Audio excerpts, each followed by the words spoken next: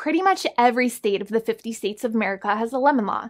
Unfortunately, sometimes automobile manufacturers don't focus on the safety of the vehicle and instead focus on the safety of their own cash pocketbooks and net profits. For that reason, if your car is a defective lemon, you should really know about your legal rights. So, in the following, I am going to tell you all about what you can get or win when you win a lemon law case. Some automobile manufacturers make a lot of money and are rich, and a lot of people hate the dealerships for taking their money and giving them a hunk of junk, the runaround, and a bunch of lies. But sadly enough, the lemon law is not designed to make you rich, and it is not intended to make you wealthy. Instead, the law is designed in a way that is supposed to put you in the position that you would have been if the vehicle had not been defective. It is supposed to make you whole even if you spent sixty or seventy thousand dollars on the car to fix up the car and spice it up, you still might not get that money back. It really depends. Even though the dealership might have lied to you, given you the runaround, and then failed to do their part. That's why it is important to give them the lemon drop down. By winning lemon law cases, consumers are really making the road a safer place for all drivers and pedestrians by making automobile manufacturers care more about consumer safety. Now, what you get when you win a lemon law case usually comes down to one of three possible options or remedies. Option one is that they might provide you with a replacement vehicle. Option two is that they might offer you a refund or what is called a lemon law buyback. Options 3, I will discuss option 3 a little later on in this video, and it is an important option you should know about as well with some real lemon juice. So let's start with the first remedy. Option 1 is that they can provide you with a replacement vehicle, which means you can basically trade your car in for a different vehicle, but there are some important things you should know about this option.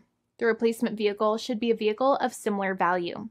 The replacement vehicle should usually also be a vehicle from the same manufacturer with similar MSRP cost.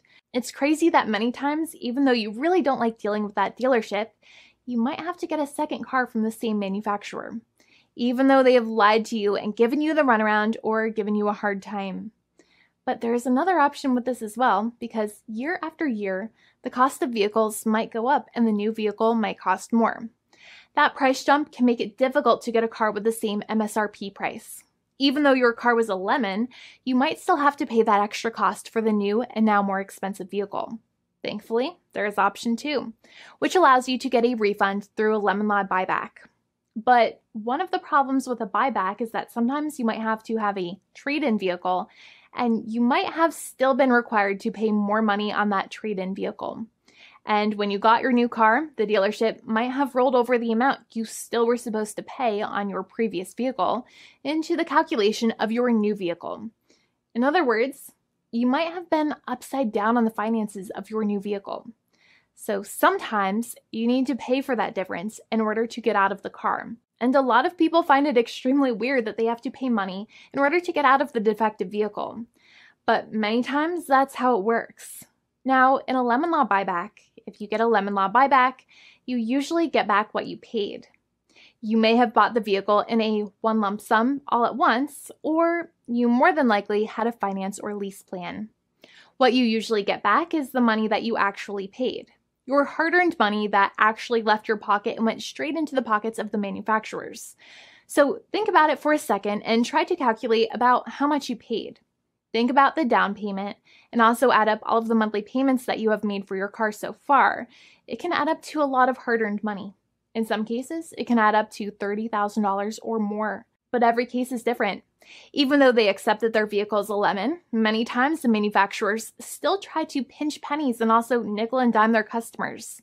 So they deduct certain fees during the negotiations, such as an offset for mileage for the portion of time that your vehicle did not have problems. Sometimes it is legal for manufacturers to deduct such things from the settlement you end up getting, but many times they may be doing so incorrectly or it might be taking away too much of your personal money.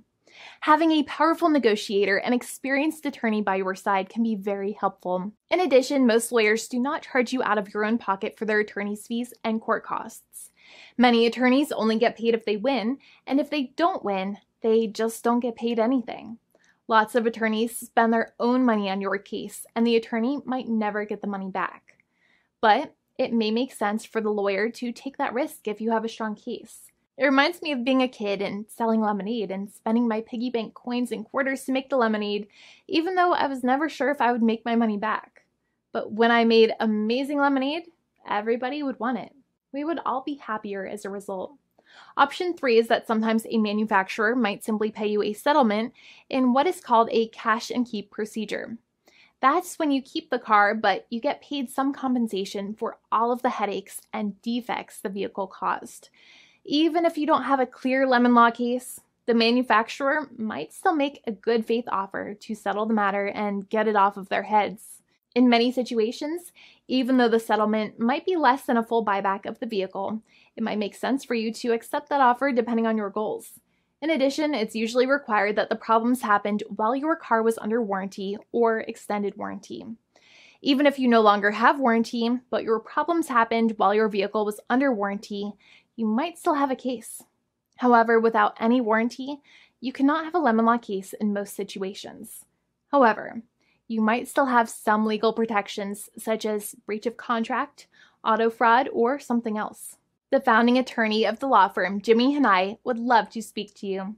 The consultation is completely free, and the team of lawyers can speak to you and review any documents you have for the vehicle, such as your vehicle purchase agreement and repair invoices. Call now for a completely complimentary and fully free consultation with an experienced lawyer. It's free to call 1 800 400 5050 day or night, seven days a week, or visit us at www.californialaw.com. Lawyers are waiting to speak to you and encourage you to call. This video is not legal advice. I am not an attorney. I'm a paid spokesperson. Attorney Jimmy Hanai is a lawyer in the state of California and handles California lemon law cases. There are no guarantees. This legal advertisement is by lawyer Jimmy Hanai of CaliforniaLaw.com.